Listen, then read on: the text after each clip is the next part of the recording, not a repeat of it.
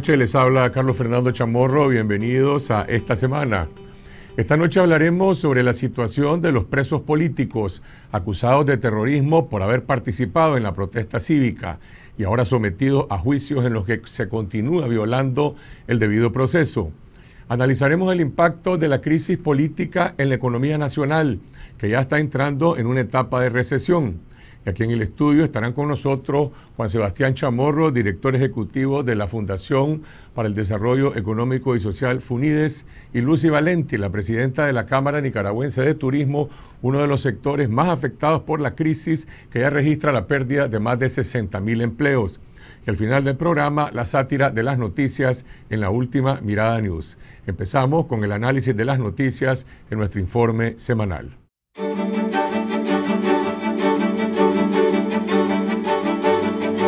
El jefe de la patrulla que perpetró la masacre en las Jaguitas en julio de 2015 fue ascendido por la Policía Nacional por sus presuntos méritos en la represión de la protesta cívica.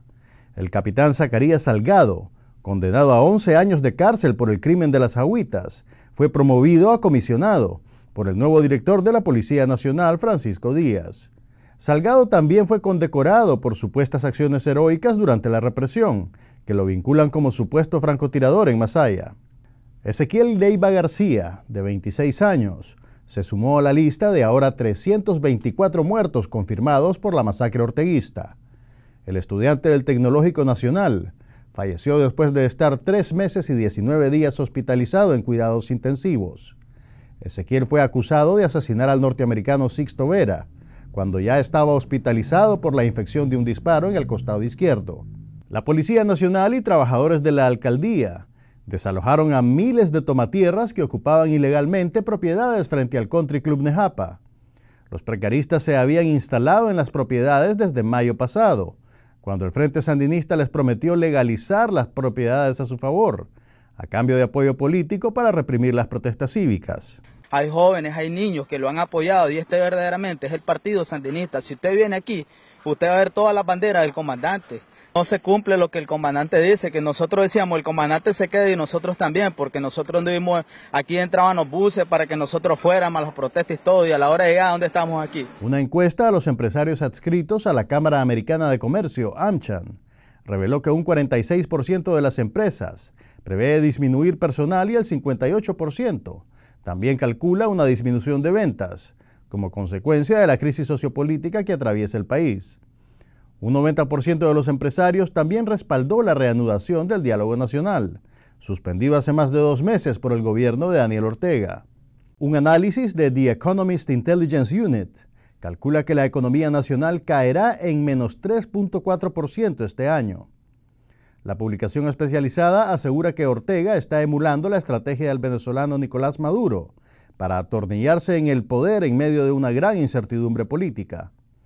El análisis concluye que Ortega no dejará el poder antes de 2022, a pesar del reclamo de cientos de miles de nicaragüenses que demandan elecciones anticipadas. El Senado norteamericano votará el próximo miércoles un proyecto de ley para sancionar con mayor contundencia al gobierno de Ortega y sus allegados por las violaciones a los derechos humanos cometidas contra la rebelión cívica.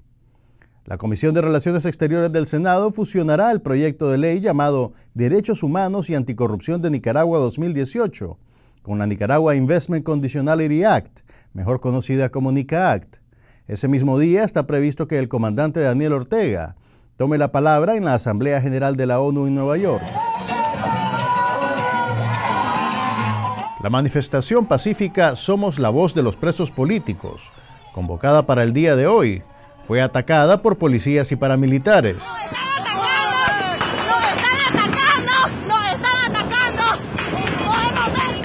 La marcha arrancó en el mercado El Mayoreo y fue interceptada en el sector de las Américas 3. Los ciudadanos se refugiaron en casas particulares, cauces e incluso la iglesia Nuestra Señora de las Américas. Un grupo logró llegar al paso a desnivel de Rubenia, designado como la meta de la protesta. En horas de la tarde, la policía emitió un comunicado confirmando la muerte de Max Andrés Romero, pero adjudicó la responsabilidad a fuego cruzado entre manifestantes y pobladores.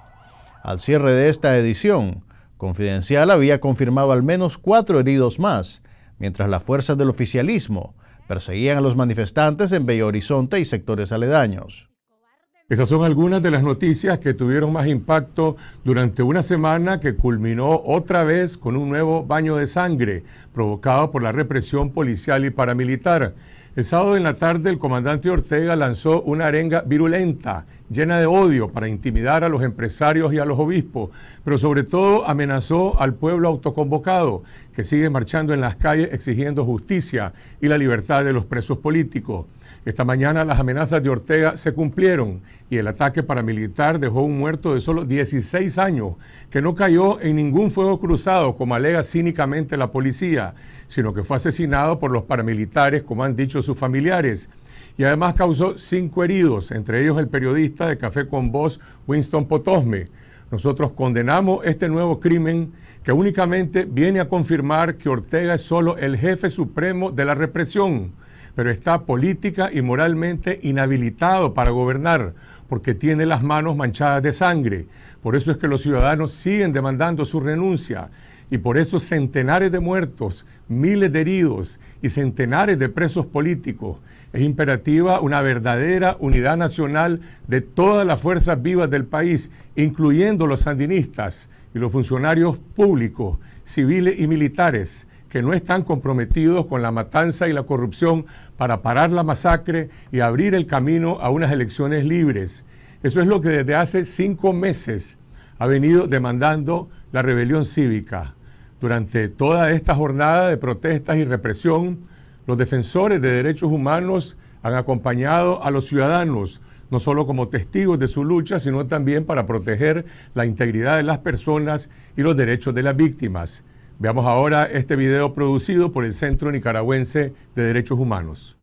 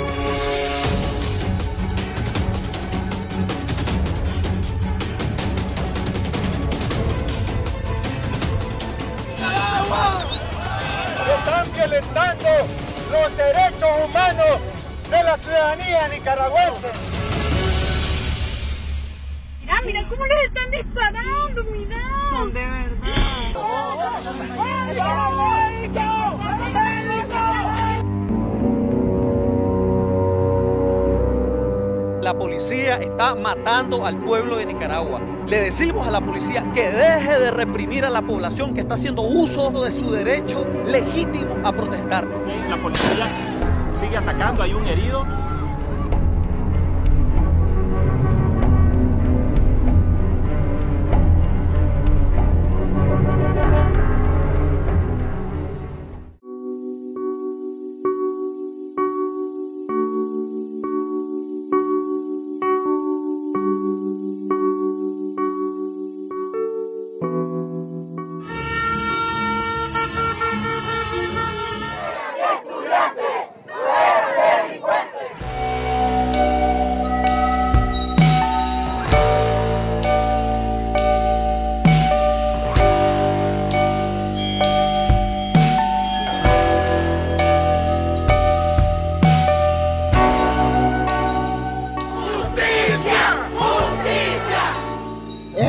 puro, con su corazón abierto, el que está diciendo basta ya de represión.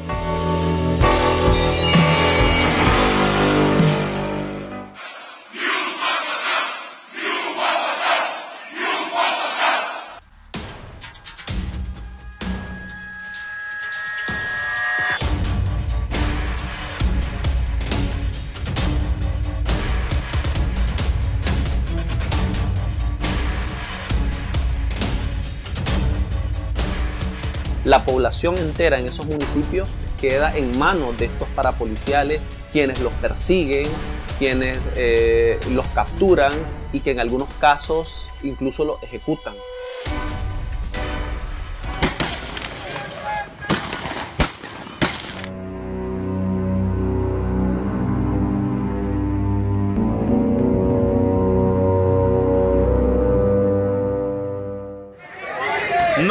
Atacaron de nuevo. Radio Darío ha sido quemada.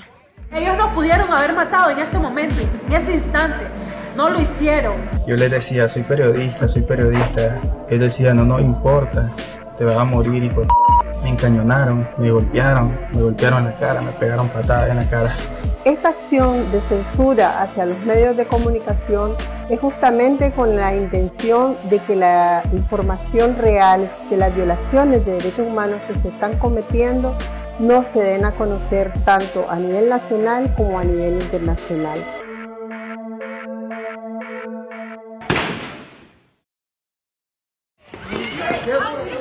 Ángel, Ángel. El caso del periodista Ángel Gaona. La familia se ha pronunciado en contra de las personas que están siendo procesadas, en este caso Glenny Brandon, porque consideran de que ellos no han sido los perpetradores de su hijo, sino que por el contrario, la Policía Nacional o Fuerzas Armadas.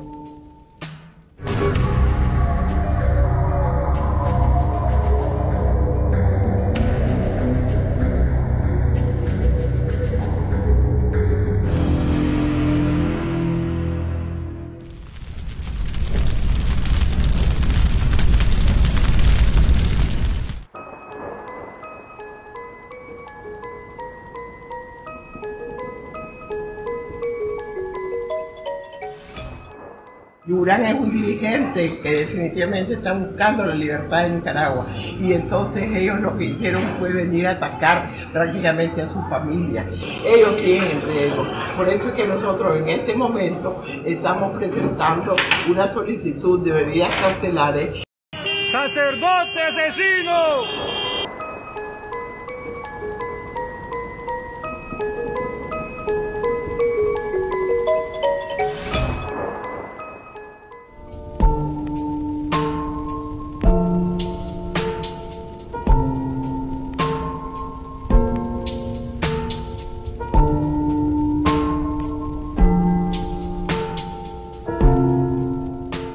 Los defensoras y defensores de derechos humanos están siendo también violentados en este proceso. Vemos la obstaculización como CENID que hemos tenido para ejercer nuestra labor de acompañamiento a las víctimas de violación de derechos humanos. Como CENID tenemos ese compromiso de continuar acompañando a la gente, de continuar defendiendo los derechos humanos aún a riesgo de nuestra propia vida.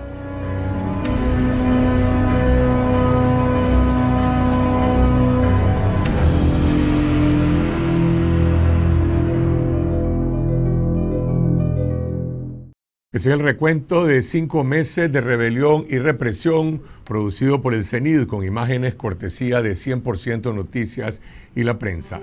Vamos a una pausa y regresamos con la situación de los presos políticos en las cárceles.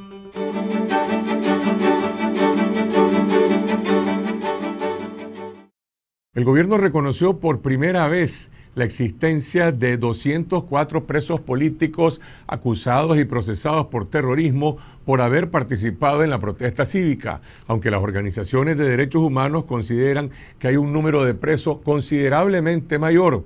Para conocer la verdad, llegó al país el relator especial para las personas privadas de libertad de la Comisión Interamericana de Derechos Humanos, Joel Hernández. Sin embargo, el gobierno le impidió poder visitar las cárceles. Veamos lo que dijo el relator de la CIDH en la entrevista que brindó a Carlos Salinas Maldonado. Ustedes hicieron una solicitud eh, con antelación al gobierno de Nicaragua para que les, se les permitiera acceder a las prisiones en el país y conocer la situación de estos presos. Eh, ¿No obtuvieron respuestas? ¿No pudieron entrar a las cárceles? Efectivamente, no hubo respuesta por parte de las autoridades nicaragüenses. Las solicitudes se tramitan por la vía diplomática, a través de la Cancillería, también las hacemos a través de la misión permanente de Nicaragua ante la OEA y no hubo respuesta. Si no tenemos respuesta, no tenemos autorización de poder entrar a las prisiones. Sin embargo, el viceministro de Gobernación, Luis Cañas, dio unas declaraciones a la prensa oficial en Nicaragua, eh, al Canal 4, en el que decía de que eh, más bien los acusaba a usted de en realidad no querer conocer eh, las instalaciones y también dijo, esta es una cita textual, que tuvieron una posición grosera. ¿Qué opina de estas declaraciones del viceministro? Bueno, no sé a qué se está refiriendo el viceministro con una posición grosera ha existido por parte de la Comisión Interamericana un interés permanente en conocer el sistema penitenciario nicaragüense, en poder visitar las prisiones y más importante, de poder conocer de primera mano la situación que guardan las personas privadas de la libertad. Es decir, que usted deja Nicaragua hoy sin tener una idea clara de la situación en la que están estos presos, eh, personas que han sido detenidas en el marco de la protesta pacífica en Nicaragua. Tuvimos estos días un contacto muy cercano con familiares de las personas que se encuentran detenidas, con organizaciones de la sociedad civil y también con eh, las defensoras y defensores de estas personas, con sus abogados. Y a través de estos testimonios nos podemos llevar una idea de cuál es la situación que se encuentran estas personas privadas de la libertad, cuáles son las condiciones en las cuales fueron detenidas, el estado de sus juicios y, más importante, las condiciones de internación. Es lo que nos estamos llevando de esta visita. ¿Qué impresión se lleva de lo que usted pudo constatar aquí en Nicaragua? Hay muchos aspectos de preocupación. Ha habido testimonios en donde hemos observado que ha habido detenciones que eh, han sido realizadas al margen de la ley y al margen de los estándares interamericanos. Eh, ha habido eh, muchos testimonios que tienen que ver con condiciones de limitaciones al interior de los centros penitenciarios. Es una serie de testimonios que hemos este, recogido, diversos, cada uno en lo individual va planteando situaciones muy particulares, pero hay una, nos vamos con esta preocupación general sobre el estado que guardan eh, estas personas y que desafortunadamente eh, al no poder tener un diálogo con las autoridades no tenemos manera de poder verificar y de poder conocer a ciencia cierta si existe una política particular, una política penitenciaria que nos hubiera ayudado a entender mejor la situación. Usted estuvo en Nicaragua en mayo pasado cuando entró esta primera misión de la Comisión Interamericana de Derechos Humanos. Eh, ¿Cómo mira la situación del país ahora? Eh, ¿Se ha mejorado? ¿El gobierno ha acatado alguna de las recomendaciones que se le hizo o cree que la situación en el país ha empeorado?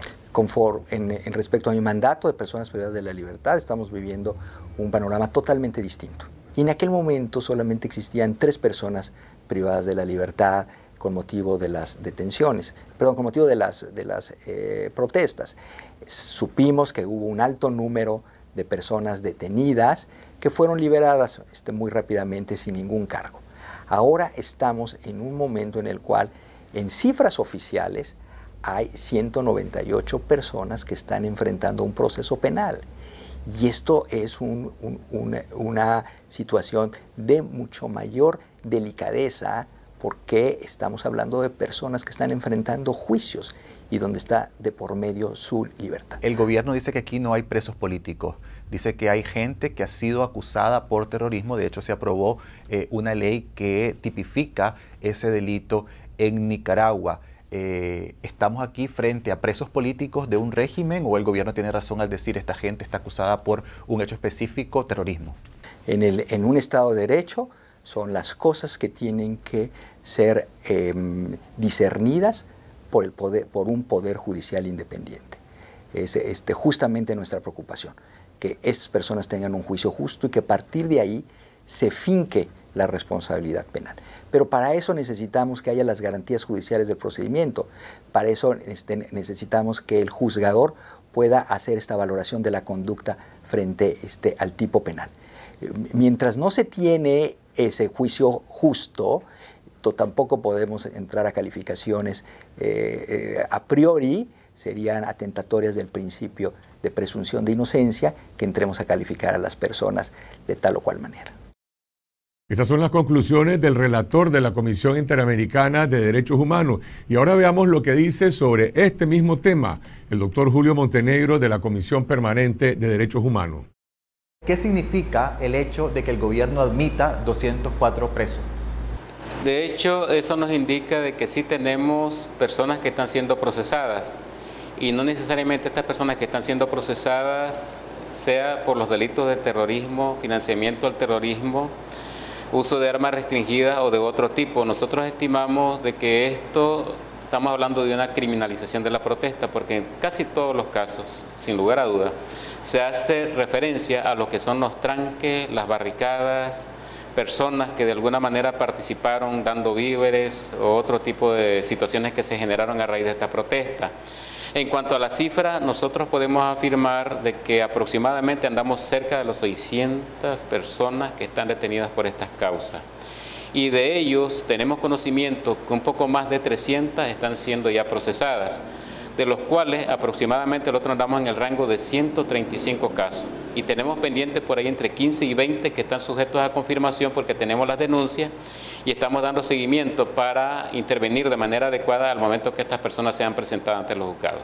Ahora, el viceministro de Gobernación, Luis Cañas, dijo a los medios de comunicación oficiales ligados al gobierno de que aquí no ha habido detenciones ilegales, que todas las personas que han sido presas, esas 204 personas, han sido detenidas precisamente por cargos de terrorismo. El hecho de que una persona sea detenida por terrorismo, por lesiones o por cualquier delito común, ellos tienen el derecho a que las autoridades respeten en este caso los marcos constitucionales. ¿Qué es lo que nos dice la constitución política? En primer lugar, el órgano facultado para practicar las detenciones es la Policía Nacional. Y en el presente caso hay muchas de esas personas que fueron detenidas por paramilitares, que no están autorizadas por ley para así ejercerlo. Y aparte de eso tenemos la situación de que estas personas de manera tardía han sido presentadas ante el juez. La constitución política que no ha sido reformada establece el término de 48 horas para que cualquier ciudadano que se sospeche ha incurrido en algún tipo de ilícito sea presentado. Y en este caso debe haber presunción de inocencia, principio de proporcionalidad. Y en este caso tenemos personas que tienen hasta tres meses de permanecer detenidas y presentadas posteriormente a esta fecha. Consideramos nosotros que eso efectivamente de manera abierta pues rompe con los esquemas constitucionales de un debido proceso y del respeto a los derechos y garantías de todo ciudadano. Estas personas que han sido detenidas de forma ilegal en las manifestaciones por grupos paramilitares, eh, no necesariamente por oficiales de la Policía Nacional, ¿deberían ser liberadas inmediatamente? Deberían de ser liberadas de manera automática. A veces se quieren hacer uso de algunos mecanismos muy formalistas, como el hecho si estamos o no dentro de un proceso. Más que eso, estamos hablando de que un juez al momento que le llegue un caso y detecte que de alguna manera alguna persona le ha sido violentado su derecho y garantía y que esto de alguna manera tiene que ver con asuntos de nulidades absolutas, debería de isofacto dejar en libertad a esta persona. ¿Qué es lo que está ocurriendo? De que usualmente se está citando, eh, tanto por el Ministerio Público y en este caso fundamentando los jueces en base a ello, una famosa sentencia 10, que es la única en su especie que ni siquiera constituye jurisprudencia, porque la jurisprudencia en cualquier parte del mundo significa que eh, deben que haber tres sentencias emitidas por la máxima corte eh, de cualquier país, de la Corte Suprema de Justicia, en el mismo sentido, tres sentencias en el mismo sentido. Sin embargo, ni aún habiendo jurisprudencia, la jurisprudencia puede estar encima por, por encima, pues en este caso, de la constitución política. ¿Qué significa? Que la Carta Magna es la que debe ser respetada. Eso es lo que dice el jurista de la CPDH. Y a propósito de la campaña nacional por la liberación de los presos políticos, queremos invitarlos a visitar la página de Confidencial para leer el libro Estirpe Sangrienta Los Somoza, escrito por mi padre Pedro Joaquín Chamorro en 1957, con su testimonio sobre las cárceles y la tortura bajo la dictadura somocista. Este libro sobre la dictadura dinástica del siglo XX lo publicamos ahora en el mes de la patria y en homenaje al natalicio de mi padre, cuando cobra más actualidad en una Nicaragua que está luchando para impedir que se imponga una nueva dictadura dinástica. Los invitamos a todos y en especial a los jóvenes, a las nuevas generaciones, a visitar la dirección de confidencial.com.ni, donde pueden bajar este libro coleccionable de forma gratuita en formato digital y como un ebook que estará disponible por una semana. Vamos a una pausa y regresamos con Juan Sebastián Chamorro, director de FUNIDES y delegado de la Alianza Cívica, para conocer el impacto de la crisis política en la economía nacional.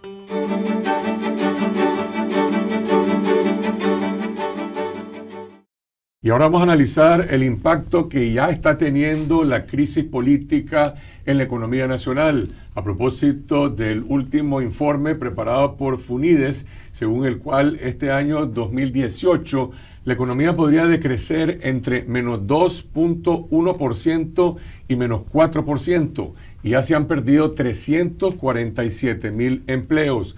Nos acompaña el economista Juan Sebastián Chamorro, director ejecutivo de Funides y delegado del sector empresarial en la Alianza Cívica. Buenas noches, Juan Sebastián. Buenas noches, Carlos Fernando. Gracias por la invitación. Este nuevo cálculo que hace Funides de un posible decrecimiento entre menos 2 a menos 4% coincide con otro que se publicó esta semana del Economist Intelligence Unit que dice puntualmente menos 3.4%. Pero hay otra proyección que hizo la CEPAL la semana pasada que habla de un posible crecimiento de 0.5%. ¿Cómo se establece la credibilidad de estas proyecciones? Bueno, nosotros consideramos que la de Funides es la más basada en el sondeo con los gremios, eh, con empresarios, con eh, datos eh, oficiales y no oficiales. Hicimos una serie de simulaciones y encuestas y nos da ese rango de entre 2, negativo 2 y negativo 4, básicamente tomando en cuenta el nivel de de conflicto que podría haber o no haber en el, en el resto del año. Si se da una situación de mayor conflicto, es negativo 4. Si se da una situación de nuevo normal, es negativo 2. Eh, el Intelligence Unit, que es una publicación muy seguida y de mucho prestigio, también usa eh, modelajes más este, eh, sofisticados que la de la CEPAL y coloca el crecimiento en negativo 3.4. También viene el, informe del Fondo Monetario en octubre, el reporte anual de la economía economía y ahí va, también va a salir alguna estimación que eh, debería de andar en, eso, en esos números negativos. ¿Cuáles son los sectores económicos más afectados? Uno de ellos es el turismo. Más adelante en este programa hablaremos con Lucy Valenti, pero ¿cuál es el impacto en el comercio, en la construcción, en el sector financiero, en otros sectores? Si lo, si lo medimos en términos de empleo, esos 347 mil se dividen en, la, en comercio 154 mil, originado principalmente por la gran cantidad de Carlos Fernando de gente que ha perdido el empleo. Esto eh, alimenta eh, una disminución en el, en el consumo. en la construcción tenemos también 50 mil empleos, porque básicamente el tema de la construcción privada y las inversiones públicas están detenidas hoteles y restaurantes tenemos una estimación de 60 mil eh, empleos. Este ha quedado más o menos estable desde el primer reporte en junio y eh, en la industria 8 mil empleos. En la banca hay, afectaciones, pero se mide más en términos de, valor, de valor agregado. Pero en términos de, empleo, eso es lo que estamos hablando, eh, entre 900 millones de dólares de valor agregado a 1.200 millones de, valor agregado que, se está, que, que ya se han perdido. ¿Cómo evalúan el panorama del sistema financiero? Hay otros economistas que vienen haciendo un monitoreo sobre la fuga de depósitos, sobre la pérdida de reservas internacionales. ¿Existen límites de prolongarse esta situación? Es decir, ¿dónde está la raya roja? Para el sistema financiero de la fuga de depósitos? Bueno, eh, como decía el reporte del Intelligence Unit, este, la economía en su conjunto está bajo un riesgo político que se ha incrementado considerablemente. Esa es la primera frase del informe y eso es este, muy contundente. Y obviamente cuando una economía está bajo un riesgo político eh, considerable, eh, hay sectores que se, que, se afectan. Eh, hemos tenido en, este, en todo este proceso de estos cinco meses una salida continua de, de depósitos. En algunos momentos ha llegado a un promedio de 6 a 7 millones de dólares al día. Y ahora en esta nueva etapa, en esta última etapa, estamos hablando de 7 millones de dólares a la semana aproximadamente. Es eh, una situación en curso. Todavía hay fugas de, depósitos, claro, a, menor, a, menor ritmo, pero esto es una, una situación que la estamos observando con mucha eh, intensidad y tratando de entender, ¿verdad?, qué se, puede, qué se puede hacer. Poner una línea y decir después de esta fecha se, se, se acaban los recursos es, una, es un ejercicio en el cual nosotros como FUNIDES no queremos meternos porque tenemos que tomar en cuenta que en este tema de las eh, políticas eh, económicas, las políticas monetarias, las políticas cambiarias, eh, la gente principal, como es el gobierno, el Banco Central, puede tomar acciones específicas, ¿verdad? Eh, cosas que ya han hecho. Se emitieron, por ejemplo, estos famosos bonos de, fortalecimiento financiero, aumentó mucho en el tema de, en el mes de junio, el tema de los reportos, que son préstamos a muy corto plazo, se flexibilizaron los requerimientos de, capital o de, o, de adecuación de capitales a los bancos y se flexibilizaron también en las carteras donde algunos clientes podían eh, no pagar, eh, tener, problemas de pago.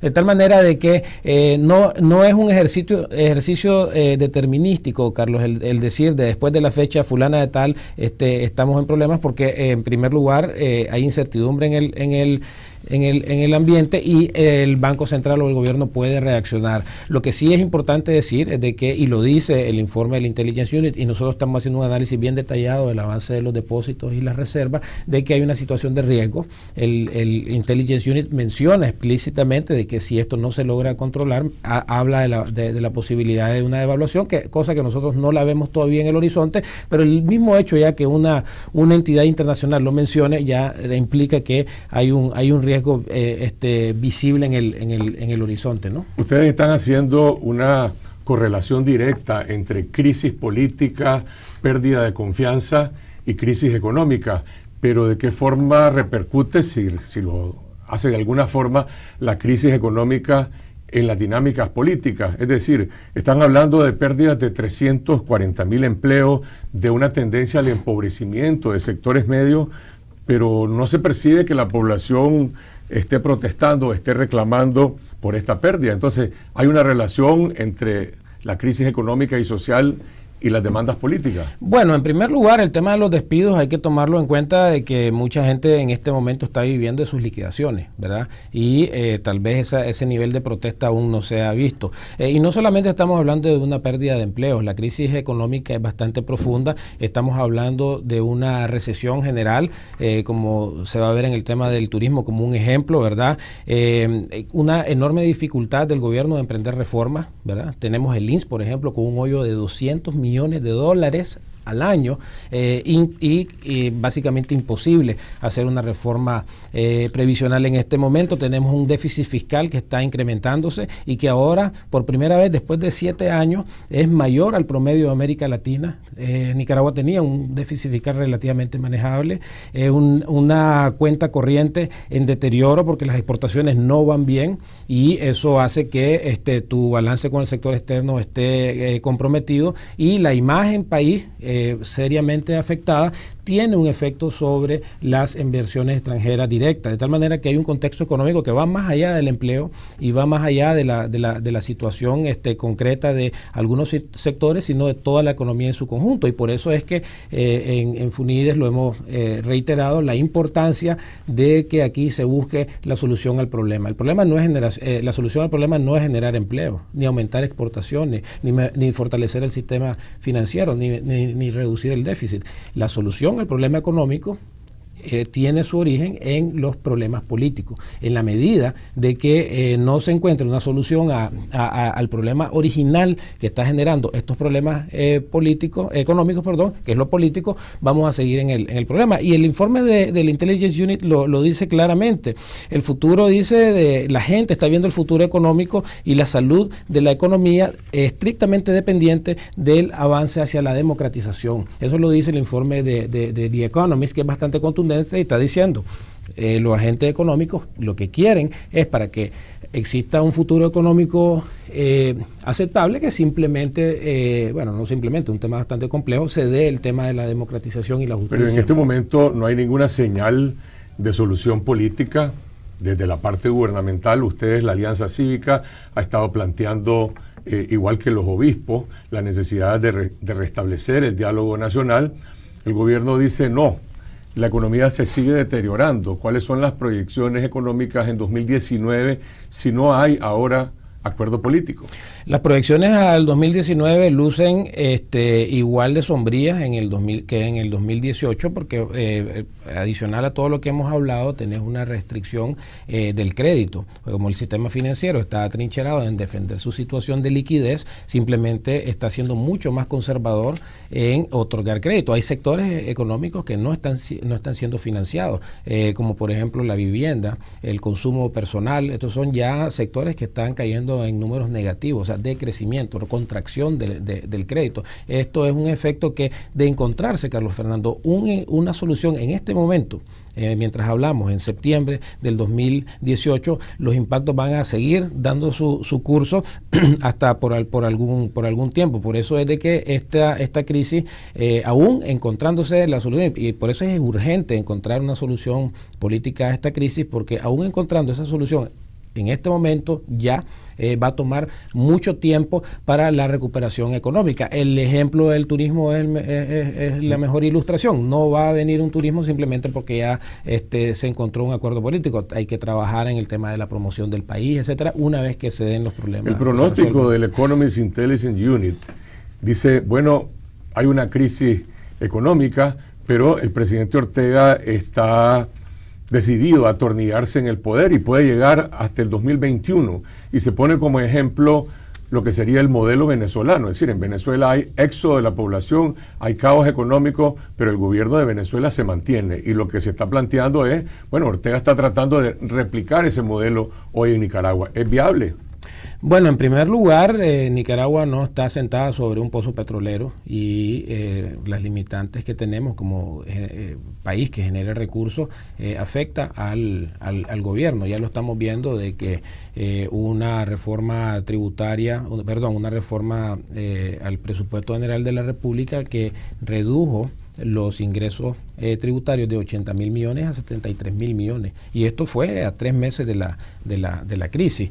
Eh, eso es un indicio de las cosas que pueden, ir, eh, que pueden ir pasando en el sentido de que la capacidad de generación de ingresos del Estado nicaragüense y mantener toda una serie de políticas de políticas de subsidio. Tenemos que recordar que aquí por más de 18 años está subsidiado el, el transporte urbano colectivo. ¿Pueden las finanzas públicas mantener el digamos, el la planilla del sector estatal, esos subsidios que estás mencionando y el nivel de inversión que tiene el gobierno. Ahí está en una encrucijada porque em, eh, al eliminar los subsidios también se genera un descontento popular y lo estamos viendo ahora con la factura de la electricidad, porque cuando se aprobó aquel préstamo con el Banco Interamericano, la condicionalidad era el desmantelamiento de los subsidios y es esa la razón por la cual en los últimos tres meses, que justamente cayeron en muy mal momento para los consumidores, el, el, aumento del precio de la electricidad, eso explica eh, el tipo de políticas que eh, tienen que implementar cuando no te da la plata.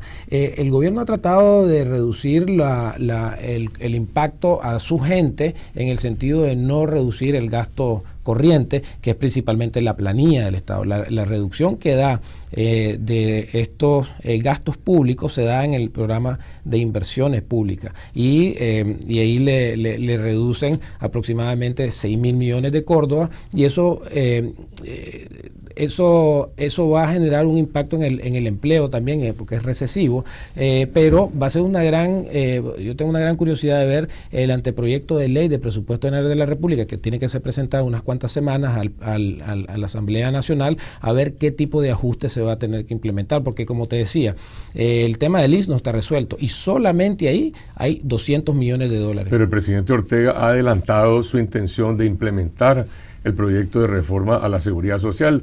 Supongamos que se reviva una nueva versión del proyecto que se había presentado en el mes de abril. ¿Qué impacto tendría aumentar las cuotas patronales y laborales? Bueno, eh, en primer lugar, eh, veo difícil de que lo vaya a querer incrementar las cuotas este, laborales, porque entonces va a generar una, un descontento eh, generalizado también de parte de los, de los trabajadores.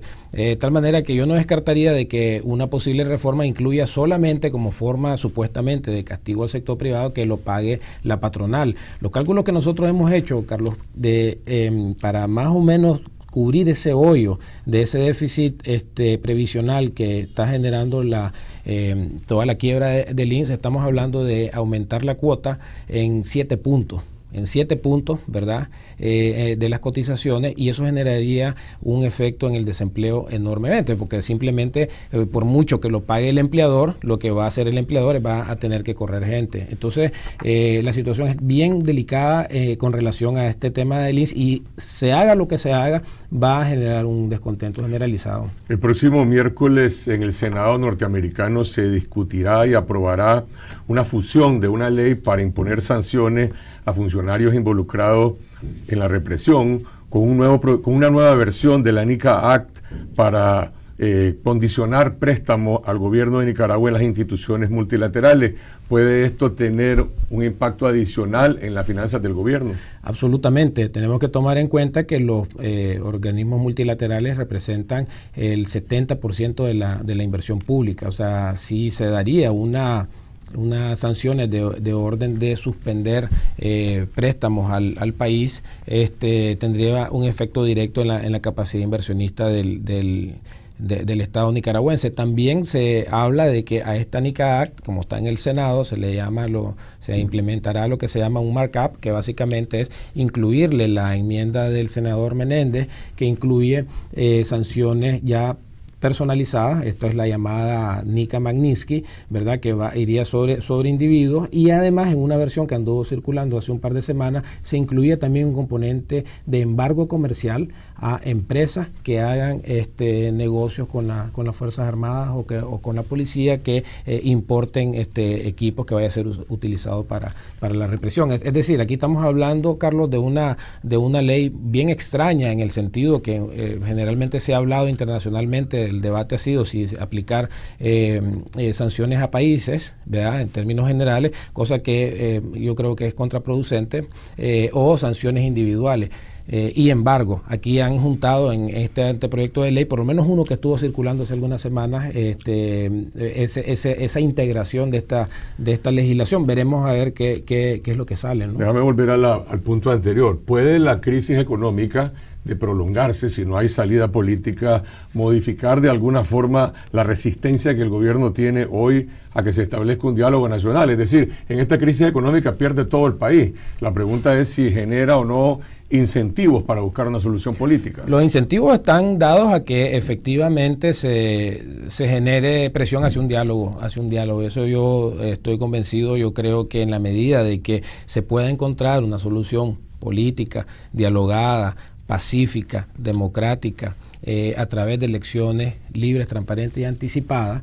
Eh, en la medida que se pueda lograr eso, un diálogo nacional sincero donde se busque una solución, eh, estos costos económicos, estas pérdidas de empleo se pueden, se pueden reducir. de otra manera, vamos a, a, un despeñadero económico que va a ser bien difícil de salir de él. La Alianza Cívica anunció esta semana que había realizado una asamblea y están hablando de, de proponer espacios para formar una unidad nacional. ¿Cuál es la propuesta concreta? Bueno, el día martes pasado hicimos una asamblea donde eh, con la convocatoria de la, de la alianza hicimos esta, esta, esta reunión, asistieron más de 25 eh, organizaciones. Tenemos que tomar en cuenta que hay alianzas cívicas por la justicia y la democracia en Estelí, en Jinotega, en Chinandega, en Granada, en Masaya. Eh, algunas juntas directivas de estas alianzas que han surgido espontáneamente son en el exilio, otras son este, de personas que están en el, en el país. Hay varias expresiones del movimiento universitario 19 de abril que también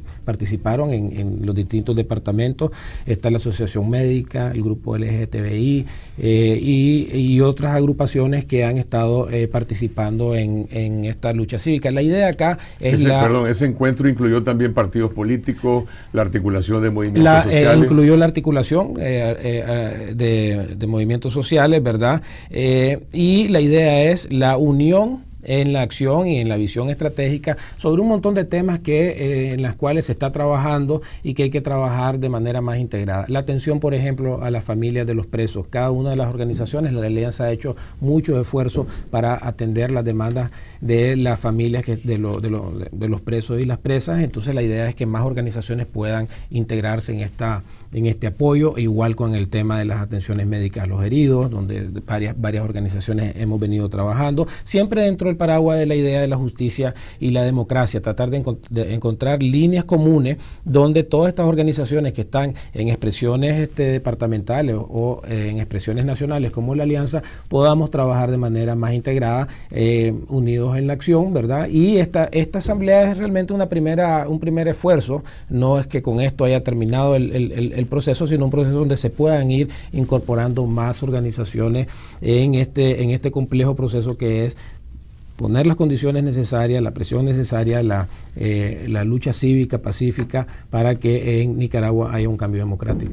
Gracias Juan Sebastián Chamorro. Hay muchas preguntas y expectativas de la población sobre cómo puede y debe conformarse este proceso de unidad nacional. Vamos a una pausa, regresamos con Lucy Valenti, presidenta de Canatur, para seguir conversando sobre la relación entre la crisis política y la crisis económica.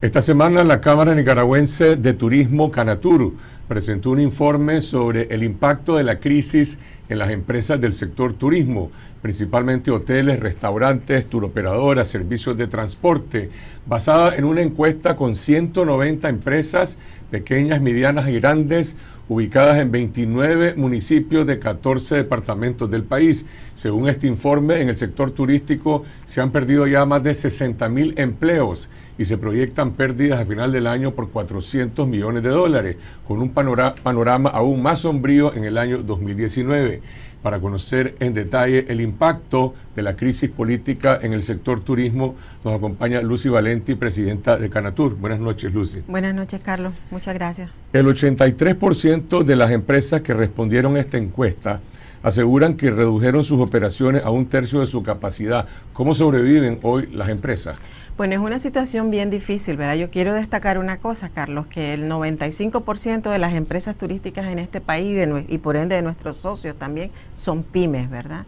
Son las que tienen mayores dificultades para poder sobrevivir, digamos, una situación como esta. ¿Cómo están haciéndolo? Bueno, recordemos que una buena parte de esas empresas cerraron operaciones no pudieron subsistir. Las que se mantienen... ¿Se puede saber cuántas cerraron? Eh, bueno, depende de los sectores. Por ejemplo, en el caso de los pequeños hoteles, eh, la Asociación de Pequeños Hoteles nos manifestaba que el 80% de los pequeños hoteles han cerrado. Los turoperadores, 90% de los turoperadores dependen fundamentalmente del turismo internacional. Eh, y los hoteles que han logrado sostenerse digamos, en pie con algún tipo de actividad son los hoteles más grandes, ¿verdad? los que tienen mayor capacidad. ¿Cómo lo, están haciendo? Pues en las empresas en general. Muchas de ellas están subsistiendo, reduciendo su personal, ¿verdad? Eh, drásticamente. Eh, en muchos casos los hoteles que aún persisten abiertos, los digamos los más pequeños que no son de cadena internacional, pues fundamentalmente es la, la familia, ¿verdad? La que se ha hecho cargo del hotel, prescindiendo de los colaboradores o reduciendo en más de la mitad eh, el personal que, que laboraba en esa empresa.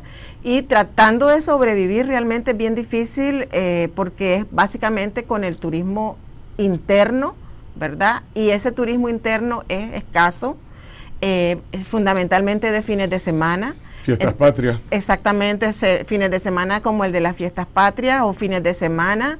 Eh, y porque no hay turismo internacional en Nicaragua en este momento. Cuando el informe habla de 60 mil puestos de trabajo, ¿significa despidos permanentes o hay también arreglos temporales con algunas no, personas? Son despidos permanentes y hay un porcentaje de alrededor de unos 17, de 16 mil en base al, al estudio que hicimos que han logrado hacer arreglos especiales con, digamos, con los propietarios o con los gerentes eh, y que trabajan eh, con eh, condiciones especiales, digamos, salariales de ese tipo. Los que las personas que han perdido sus puestos en turismo, que se han entrenado previamente para esos servicios, se pueden reubicar en otras áreas de la economía o tienen como alternativa salir del país.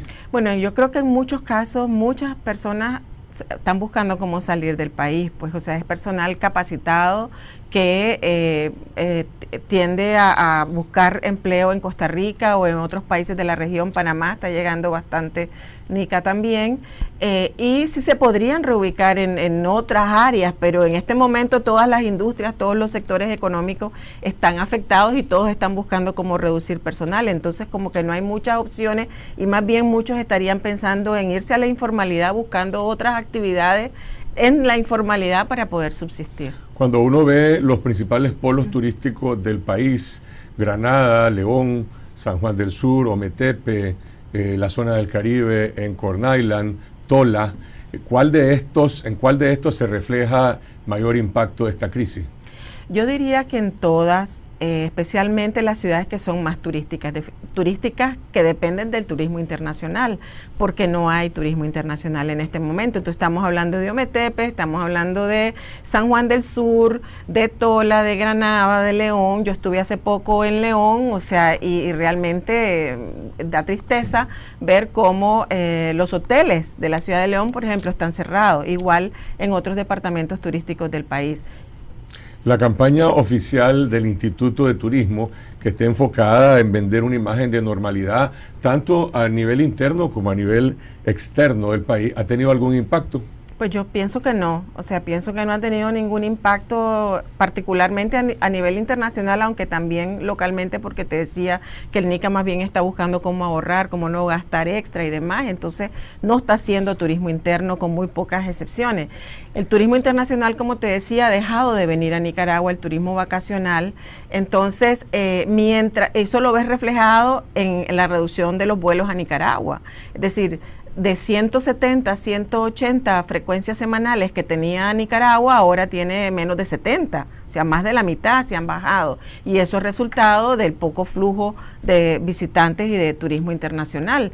Entonces, eh, eh, mientras, mientras no exista garantías de estabilidad y de seguridad en el país, esos esos países que hoy tienen alertas de viaje y que le advierten a sus ciudadanos de no venir a Nicaragua no lo van a quitar y eso nos afecta directamente, eso porque los mayoristas también, que son los que venden los paquetes turísticos hacia Nicaragua, no ofrecen, no están ofreciendo Nicaragua precisamente por esas advertencias de viaje.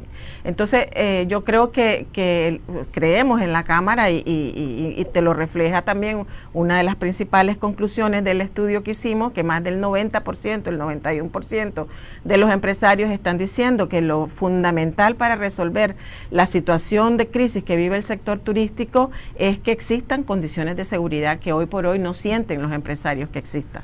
La propuesta de Canatur está enfocada en alternativas de financiamiento, eh, elementos de tipo económico o es una propuesta política?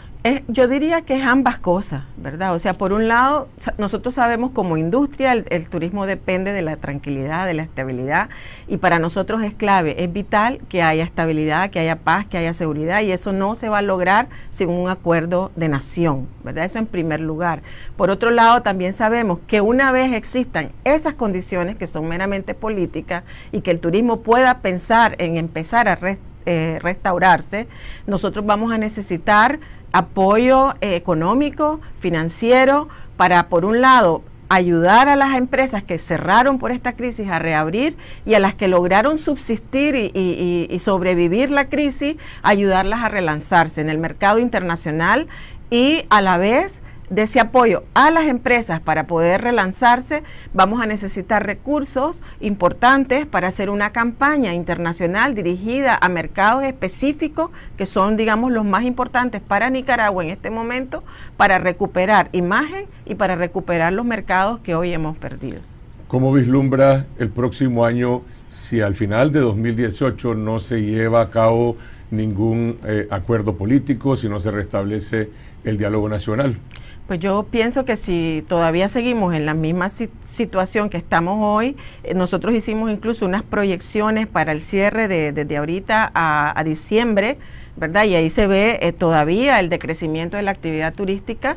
Eh, considerando que no se logre de aquí a diciembre, ¿verdad?, una solución. Si esa situación continúa el próximo año, va a ser, se, va a mantener la situación de crisis en la industria turística, porque la estabilidad la seguridad es clave para nosotros. Además de ser presidenta de Canatur, vos tenés tu propia actividad empresarial en este sector. ¿Cómo te afecta a vos personalmente? Eh, pues fuertemente, ¿verdad? Nosotros hemos tenido que suspender actividades por la crisis eh, y realmente pues es una situación muy dura que igual que yo hay cientos de empresarios, ¿verdad?, que están en la misma situación y que para nosotros es urgente, es prioridad alcanzar ese acuerdo de nación que permita rescatar el país y rescatar una de las industrias más importantes que tiene Nicaragua en este momento que nos tomó más de 28 años construir, porque el turismo empieza a desarrollarse en los 90 con la paz que se firmó en los 90, o sea, con el inicio del proceso democrático,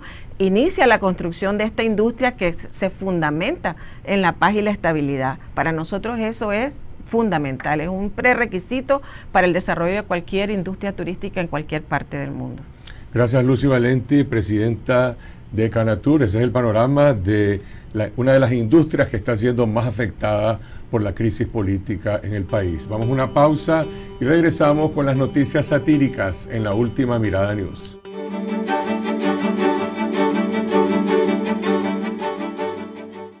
Y ahora vamos a la última mirada news con las noticias que no alcanzaron en el informe semanal.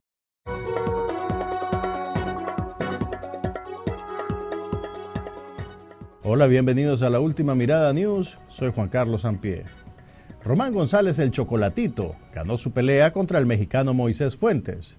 El boxeador confirmó su lealtad al régimen de Daniel Ortega, vistiendo un short que incluía la bandera del FSLN entre los logos de sus patrocinadores. Porque, bueno, el FSLN es su patrocinador. Gracias a Dios por esta nueva victoria del campeón Chocolatito. La compañera Rosario no aclaró dónde estaba Dios cuando Rumbisay noqueó al Chocolatito el año pasado. Pero eso no importa. En realidad, el gran ganador de la jornada fue Román González, porque usó el dinero de la bolsa para comprarse una máquina del tiempo y lo primero que hizo fue visitar la Alemania nazi.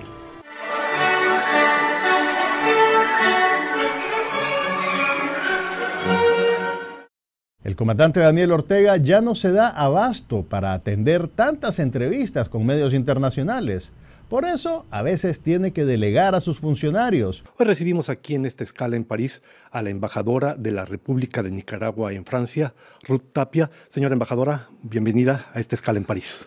Muchas gracias. Es muy poca las oportunidades que tenemos y usted me decía de 13 minutos, va a ser muy difícil, pero voy a tratar de hacer un, en todo caso, recuento, un en resumen. Todo caso, bienvenida. Un resumen. en todo caso, bienvenida. Le agradezco. ¿Quién o quiénes, nombres y apellidos, están promoviendo ese golpe de Estado? Para poder contestar esa pregunta tenemos que ver la historia de Nicaragua. Nosotros tuvimos la independencia de España en 1821. Con razón no le va a alcanzar una entrevista de 13 minutos pero la historia siempre es más complicada de lo que creemos.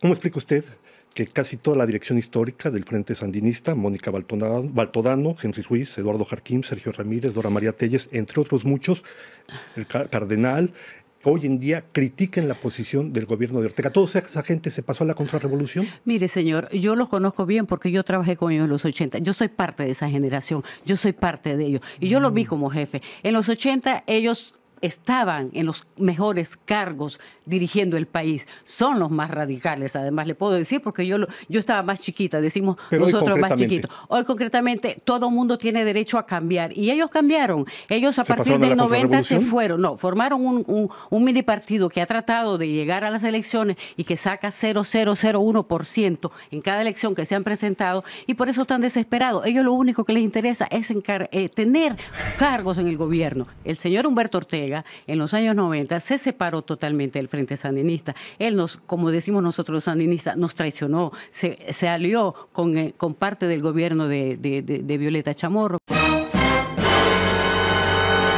Ya el señor Ortega no pertenece al sandinismo. Lo que él diga es, una, es parte más de lo que dice el enemigo. parte del complot. Llámala, este, me, interesa lo que usted dice. O quiso, o quiso simplemente que lo tomaran en cuenta. Lástima que la embajadora no llevó traductor, porque parece que no entiende bien el español. ¿Cuántos muertos más antes de que haya un acuerdo? Ojalá que no haya ninguno más, porque nosotros que venimos de una guerra reciente, yo le puedo decir que si hay un sandinista, si hay una persona en Nicaragua que no quiere guerra, eso se llama Frente Sandinista de Liberación Nacional. Última hora, última hora, última hora. El chocolatito está en la Uganda de 1978 saludando a Idi Amin Dada. Después de buscar dinero en China para tratar de rescatar la economía de Venezuela, Nicolás Maduro cenó en un restaurante gourmet de Turquía donde un filete vale 100 dólares. Es como hacer un arreglo de pago en el banco por la tarjeta de crédito que topaste y después ir a celebrarlo cenando en los ranchos. Última hora, última hora, última hora. El Chocolatito apoya al talento nacional y participó en una manifestación a favor de Anastasio Somoza, el Festival de Moda Nicaragua Diseña abrió su convocatoria oficial. Ya son siete años creciendo juntos, ese es el lema que, que, vamos a instaurar este año. Estaremos pendientes de las prestigiosas marcas comerciales y talentos emergentes que se unan a este evento. Será como cuando Volkswagen lanzó el escarabajo con Hitler, o cuando Hugo Boss diseñó los uniformes de la Gestapo. Última hora, última hora, última hora. El chocolatito visita a Caín para manifestar su solidaridad ante las provocaciones de su hermano Abel. Buenas noches. De esta manera llegamos al final de esta edición. Los invitamos a suscribirse a nuestro canal de video en youtube.com Pleca Confidencial Nica. Síganos en Twitter a lo largo de la semana en la dirección arroba CFC. Regresamos mañana lunes con más información, análisis y comentarios en esta noche, siempre a las 8 de la noche aquí en Canal 12. Buenas noches.